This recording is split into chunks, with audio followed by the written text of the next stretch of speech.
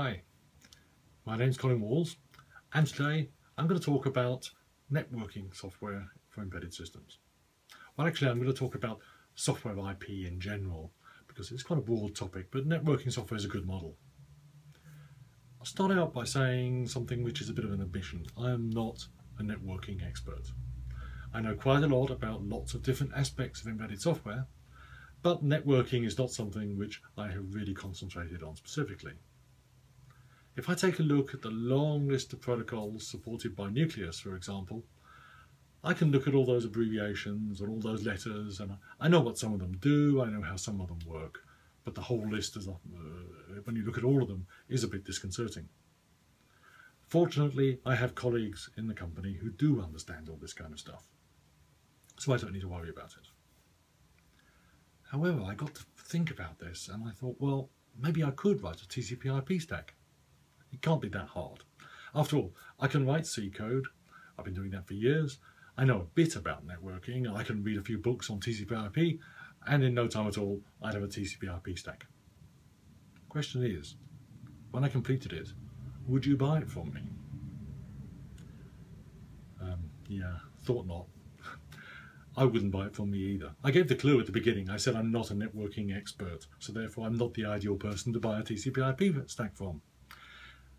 However, how do you decide where to make that purchase? Do you just listen to people who say they're experts and think, oh yeah, well, I believe them, they're saying they're an expert? No, that's not the way to make the, the decision. There's one word you need to look for. Validation.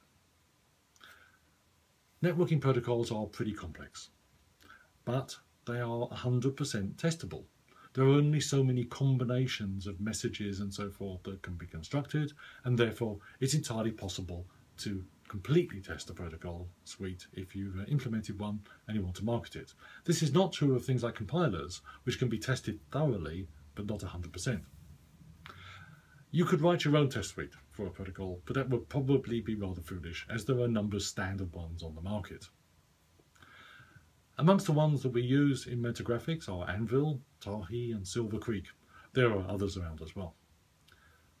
These test uh, suites are extremely expensive. If somebody is using one, it shows their commitment to networking software. So there's the question you need to ask. If you're considering buying some networking software from any embedded software supplier, simply ask the question, what validation suites do they use? And listen carefully to the answer. And if you don't get a good answer, go and ask somebody else. These general guidelines apply, apply to all kinds of software IP, and modern embedded systems tend to be built constructing uh, a number of components from different vendors.